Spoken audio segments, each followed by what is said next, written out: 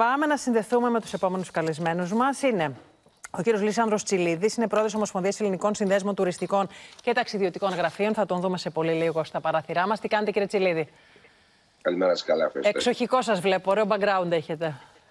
Μάλιστα. Καλημερίζουμε. Ακόμη πιο εξοχικός είναι ο κύριος Χαλκιαδάκης, πρόεδρος Ένωσης Ξενοδόχων Ηρακλείου Κρήτης. Καλημέρα σας. Καλημέρα, καλημέρα σε εσάς και τους τηλεθεατές σας. Σας πήραμε από τη βουτιά ή θα πάτε μετά για βουτιά; Μετά, μετά, μετά. Μετά έτσι. Έχετε πάρει και χρωματάκι, δήμαρχε, σα βλέπω τέλεια. Καλημερίζουμε και τον κύριο Παναγιώτη Κριεμάδη.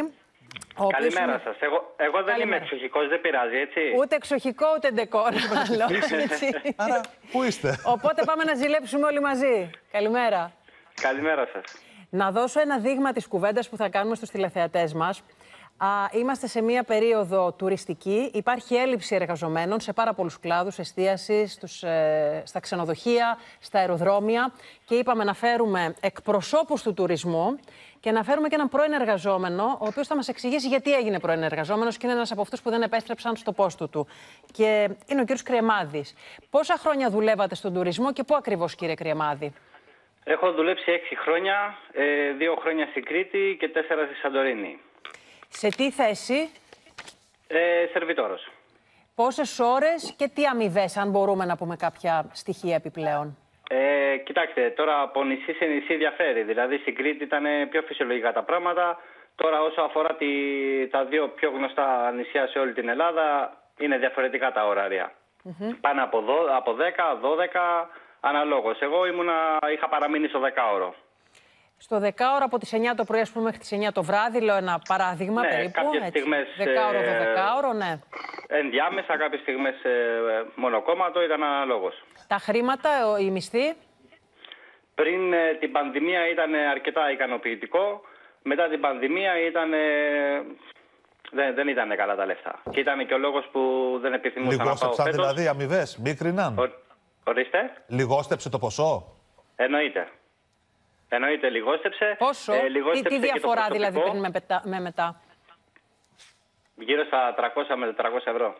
Αν σας έλεγε λοιπόν κάποιος τώρα, ε, εκπροσωπείτε, ε, είστε ένας και εκπροσωπείτε τους πολλούς που δεν επέστρεψαν στον τουρισμό. Γιατί δεν επι- ε, επιστρέφετε, θα λέγατε τα χρήματα; Ε, τα χρήματα, οι συνθήκες διαβίωσης σε αρκετούς ε, κατά μέσο όρο, ε, ότι δεν θα έχουν κατέβει και πολλά άτομα για δουλειά, οπότε όλη η επιβάρυνση του τουρισμού φέτος που θα είναι υπερβολικά αυξημένος θα πέσει όλος πάνω, του, πάνω τους. Δηλαδή, πιθανώς σε ένα μαγαζί που χρειάζονται 10 αν είναι 5, οι 5 θα διαλυθούν. Ακριβώς λέτε. όπως έγινε και πέρσι, που οι εργοδότες ήταν λίγο διστακτικοί για το πόσο κόσμο θα φέρουν, γιατί δεν, ξέρουν, δεν ξέρανε πώς θα πάει, γιατί ήταν τα πιστοποιητικά, ήταν τα, το ένα, το άλλο και ήταν λίγο με δισταγμό. Και πήραν λίγο προσωπικό με αποτέλεσμα ο τουρισμός θα ήταν 130% παραπάνω από όσο ήταν το 19, κουραζερόπλια γεμάτο και έτσι επιβαρυνθήκαν... Λιγότερα χέρια. Ένα ακόμη για Λιγότερα να πάμε χέρια, και πολύ στους, κόσμος. και στους άλλους κυρίους. Είπατε συνθήκες διαβίωσης. Αν έχετε την προσωπική εμπειρία να μας πείτε πώς ήταν αυτές οι συνθήκες ε, διαβίωσης.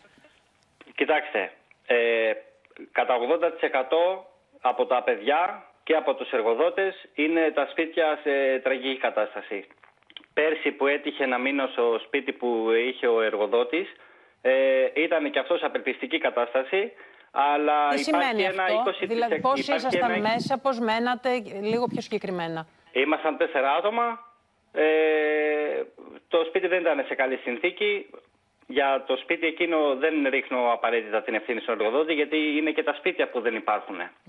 Γιατί έχουν γίνει όλα ξενοδοχεία. Σωστό. Και Airbnb Οπότε και... και, αυτά τα λίγα Σωστό. ακριβώς. Και αυ- δηλαδή υπήρχε ένα συγκρότημα εκεί που μέναμε με 7 διαμερίσματα. Τα 6 τα είχε για να τα δίνει σε τουρίστες και το ένα που είχε για εμάς ήταν το μόνο που ήταν σε μαύρο χάλι. Μάλιστα. Ε, αυτό δεν δικαιολογείται όμως. Δηλαδή, Έτσι. με εσεί υγρασίε και τέλος πάντων να μην είναι φτιαγμένο όπως Ακριβώς, πρέπει. ακριβώς αυτό. Και δεν είναι πάντα ευθύνη του εργοδότη. Μερικοί εργοδότες δεν έχουν και άλλη επιλογή, γιατί έχουν γίνει όλα ξενοδοχεία. Για πάμε στον κύριο Χαλκιαδάκη, είναι ο πρόεδρος της Ένωσης Ξενοδόχων Ηρακλείου Κρήτης, όπως είπαμε. Προφανώς, κύριε Πρόεδρε, τα έχετε ακούσει όλα αυτά ξανά. Θέλω να μας πείτε πώς τα σχολιάζετε αφενός και αφετέρου, αν έχετε μεγάλη έλλειψη από κόσμο α, για να δουλέψουν φέτος στα μαγαζιά σας στην Κρήτη. Κοιτάξτε, οι περισσότεροι ε, βρίσκονται σε καλές συνθήκες. Αλλά υπάρχουν πάντα και εξαιρέσεις. Δηλαδή μιλάμε ότι υπάρχει ο καλός εργοδότης και υπάρχει ο κακός εργοδότης. Ο καλός εργοδότης προσέχει το προσωπικό του διότι ξέρει ότι χωρίς το προσωπικό δεν μπορεί να πάει παρακάτω και με το προσωπικό μαζί δουλεύουμε όλοι μαζί. Εμείς, όλοι μαζί είμαστε, είμαστε σε ένα πλοίο και όταν το πλοίο αυτό αρχίζει και ε, ανοίγουν τρύπες, θα βουλιάξει. Έτσι είναι. Ο Οπότε... το ξέρει. Είναι περισσότεροι όμως. Κοιτάξτε, ε, σε εμάς εδώ στο Ηράκλειο, στο νομό Ηρακλείου και στην Κρήτη γενικά, πιστεύω ότι το 1,70% των επιχειρηματιών είναι σωστοί και προσέχουν το προσωπικό τους έτσι να μην το χάσουν κιόλας. Διότι Έστω ότι είναι και σωστοί λοιπόν, όπως το λέτε εσείς. Βρίσκουν ως καλοί και σωστοί το προσωπικό που χρειάζονται. Ναι, αυτοί το βρίσκουν, έχουν πολύ λιγότερα ε, προβλήματα. Δηλαδή, μιλάμε φέτος ότι μια επιχείρηση η οποία έχει, παραδείγματος χάρη, 400 ε, άτομα, ε, τη έλειπαν περίπου στην αρχή της σεζόν 10-15 άτομα. Αυτό δεν το λέμε έλλειψη, διότι καλύπτεται. Καλύπτεται, βέβαια. βέβαια. Ναι, Όταν μια επιχείρηση με, με 12 ώρα καλύπτεται, δηλαδή είναι δυνατόν. Όχι, κα, κανείς δεν δουλεύει 12 ώρα. Κανείς δεν λοιπόν, δουλεύει 12 ώρα. Άλλο το 10-12 ώρες δουλειά για να βγει. δεν δουλεύουν 12 ώρα. Σε εμάς δουλεύουν κανονικά τα 8 ώρα τους, έχουν τα, τα καλά τους τα, τα, τα δωμάτια και μένουν, έχουν τις μεταφορές τους με τα λεωφορεία των ξενοδοχείων, έχουν τα φαγητά τους. Δεν, δεν έχουμε κακές συνθήκες Έχετε λήψει σήμερα που μιλάμε, κύριε Χαλκιαδάκη, ή είναι καλυμμένες οι θέσεις; Ε, Εμείς στο νομό μας έχουν πάρα πολύ λίγες λήψεις. Οι λήψεις είναι λίγες. Πάντως και ο κύριος Κριεμάδη, ο πρώην εργαζόμενος, μας είπε ότι στην Κρήτη, καλά δεν κατάλαβα, ήταν καλύτερες συνθήκες από τι άλλα νησιά. Ναι. Πάμε και στον κύριο ε, Τσιλίδη, διότι όλα αυτά, η κουβέντα αυτή έχει ανοίξει, κύριε Τσιλίδη, από την Άνοιξη για την έλλειψη στους εργαζόμενους στον κλάδο του τουρισμού. Ακούγεται ένα νούμερο, δεν ξέρω αν ισχύει ακόμη, για 50.000 εργαζόμενους, 50.000 κενά. Όλες αυτές οι ελλείψεις, εν πάση περιπτώσει, δημιουργούν προβλήματα. Ένα από τα προβλήματα είναι και στις στις μεταφορές με αεροπλάνα. Θέλετε να μας προσδιορίσετε τι προβλήματα έχουν δημιουργηθεί εκεί; Πριν τα αεροπλάνα θέλω να σας πω για το δικό μας κλάδο. Βεβαίως να μας πείτε. Για τα γραφεία ταξιδιών που είναι ιδιοκτήτες τουριστικών λεωφορείων και εμείς την προηγούμενη περίοδο με, την, ε, με τον κορονοϊό αντιμετωπίσαμε την αρπαγή των εργαζομένων από τις επιχειρήσεις μας. Οι εργαζόμενοι στο δικό μας χώρο και οι οδηγοί ήταν κατεθουσιασμένοι και πολύ καλά ικανοποιημένοι οικονομικά. Τι έγινε, δύο χρόνια δεν υπήρχε δραστηριότητα και τους απέσπασαν άλλοι φορείς. Παραδείγματος χάρη, οι αστικές συγκοινωνίες έφεραν και λεωφορεία περισσότερα για την μεταφορά των μέσων μαζικής μεταφοράς στους πελάτες λόγω του κορονοϊού.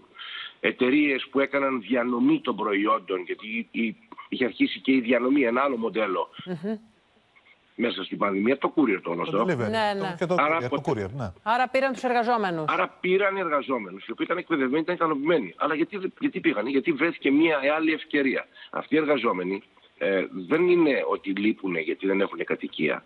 Γιατί ζουν στην Αθήνα, που είναι η κατοικία τους μόνιμη. Δεν επέστρεψαν στην προηγούμενη δουλειά γιατί βρήκαν μέσα στην πανδημία κάτι διαφορετικό. Κάτι διαφορετικό. Οι συνθήκες λοιπόν ζωής του κάθε εργαζόμενου δικαίωμά του να, να περνάνε σε καλύτερο στάδιο.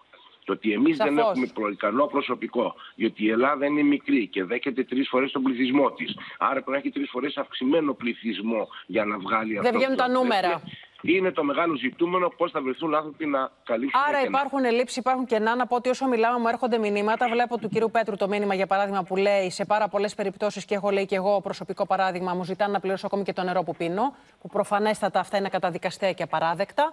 Ε, ε πάμε λοιπόν να δούμε τώρα τι προβλήματα έχουν δημιουργηθεί και στα αεροδρόμια.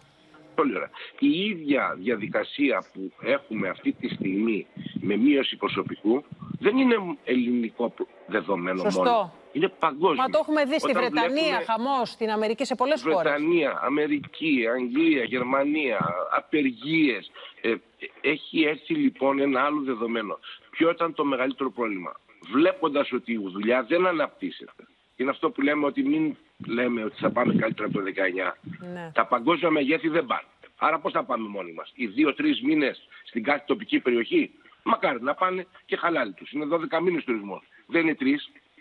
Και δεν είναι μόνο για πέντε περιοχές, κύριε Τσιλίδη, έτσι είναι και η υπόλοιπη Ελλάδα που έχει τουρισμό. Ασφαλώ. Οι αεροπορικές εταιρείες έβγαλαν ένα προγραμματισμό στο 80% των πτήσεων τους. Με αποτέλεσμα κάποια στιγμή ο κόσμος να θελήσει να ταξιδέψει.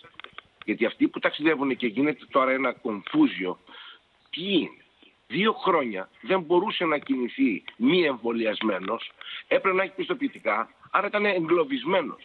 Τώρα που είναι όλα ελεύθερα, κινούνται όλοι. Τα Άρα, προβλήματα άλλος αυτά που, αριθμός- που εδράζονται, κύριε Τσιλίδη, δηλαδή χάνονται βαλίτσες, όπως λέμε και στον τίτλο μας, καθυστερούν πολλοί οι πτήσεις και περιμένουν άλλο στο αεροδρόμιο δύο και τρεις ώρες. Ποια προβλήματα παρουσιάζονται; Βεβαίως. Ακούστε, το ότι έχει καθυστερήσει, έχει καθυστερήσει.